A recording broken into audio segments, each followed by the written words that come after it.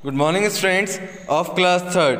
Today we will understand the chapter 37. The chapter name is writing a paragraph.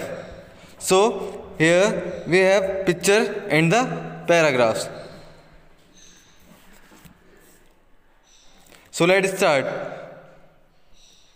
The tiger was hiding in the jungle.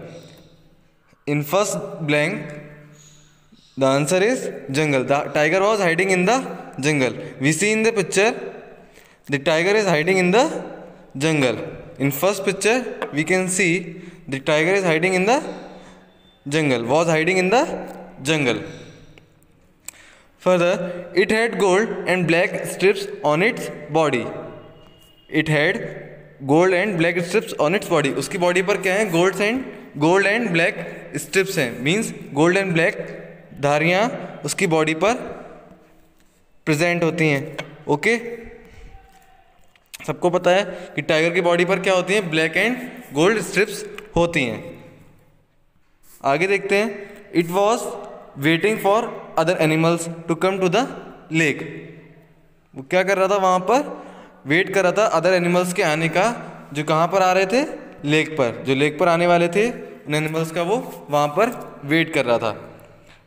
Next देखते हैं. Very soon a few zebras rabbits and some buffaloes come to drink water in second picture we can see the zebras rabbits and some buffaloes are there to drink water understand second picture में क्या देख रहे हैं हम? Zebra rabbit and some buffaloes वहाँ पर कहाँ lake पर पानी पीने आते हैं.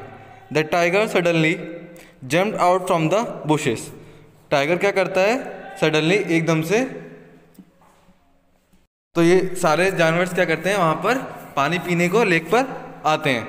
आगे देखते हैं the tiger suddenly the tiger suddenly jump out from the bushes क्या करता है? टाइगर क्या करता है? सडनली एकदम से झाड़ियों में से बाहर आता है।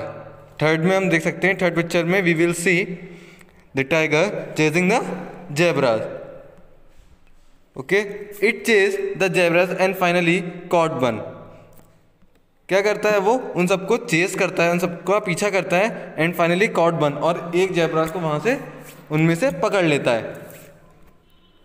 The tiger took it to its den और वो क्या करता है? उसको अपने साथ, अपने गुफा में लेके जाता है। वो अपने गुफा में उसको लेके जाता है to share the food with its cubs क्या, किस लिए? अपने बच्चों के साथ अपना खाना शेयर करने के लिए। In the last picture we can see the tiger and the cubs eating the food understand I hope you are understand the paragraph clearly so we will meet in the next class take care bye bye thank you